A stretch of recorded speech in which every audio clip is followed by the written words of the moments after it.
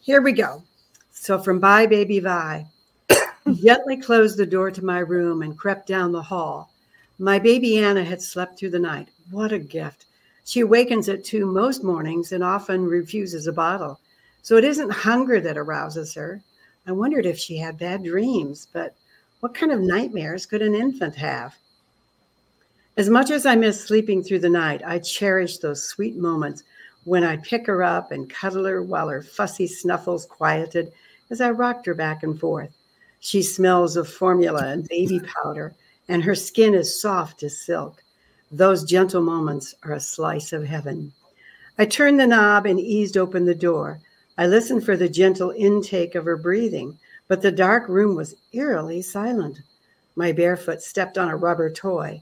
I flinched at the squeak that filled the room like a bullhorn. Anna didn't arouse. I reached into the crib to touch her sleeping form. I felt only her fleece blankets. I patted the mattress, and my hands still didn't connect with my daughter. Anna, I whispered. My frantic fingers groped the perimeter of the crib. My heart slammed against my rib cage as my louder, insistent voice called her name one more time. I spun around, raced back across the room, and flipped the light switch. Light blinded my vision for a moment. I retraced my steps and gaped at, at the empty crib. I stupidly repeated her name, Anna, Anna, as if my shrieking would manifest my child. Maybe dad had her. Had she awakened in the middle of the night and he rocked her to sleep? I hurried out of the nursery, down the hall, into a darkened living room. Dad, Dad! I heard his bedroom door open. Do you have Anna? I shouted. The hall light flipped on, illuminating my dad, hair poking out in all directions, rubbing his barely open eyes. What's this? Anna's not in her crib. Do you have her? His stunned expression told me the terrible answer. I grabbed the back of the couch to steady me. Dad, she's gone. Her crib is empty. Dad spun on his heel and disappeared into his bedroom. I heard him on the phone talking to 911 dispatch. He reappeared. Don't go back to your room, Maddie. The army's on the way. And I know you know this, but we don't want to disturb any evidence. Do you have socks on? I shook my head no rounded the sofa and collapsed on the cushions. I just can't sit here, Dad. Jesus. He looked at me with pained eyes, his teeth clenched, his jaw knotted. Let's start there. He crossed himself, dropped his head, and said, Jesus, we need you now, right now. Help us find the low belly son of a bitch who's taken our Anna. The house seemed like a three ring circus.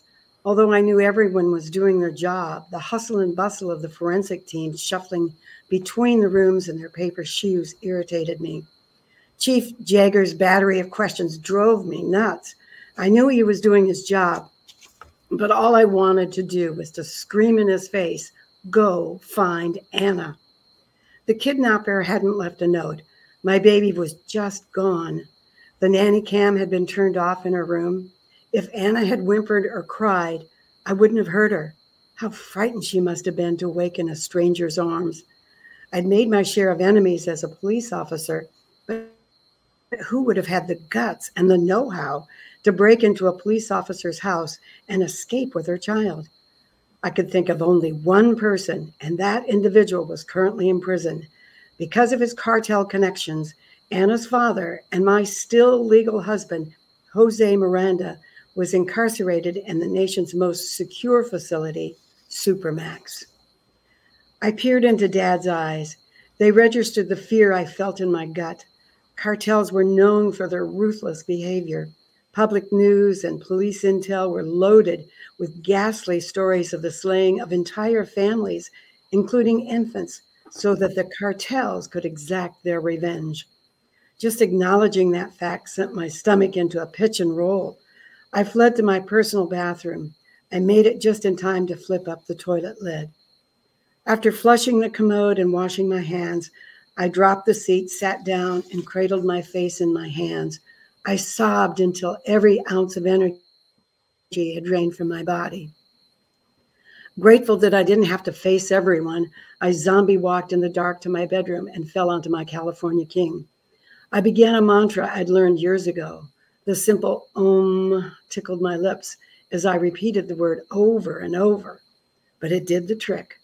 My mind stepped back from the edge of madness. That was very Ooh. good.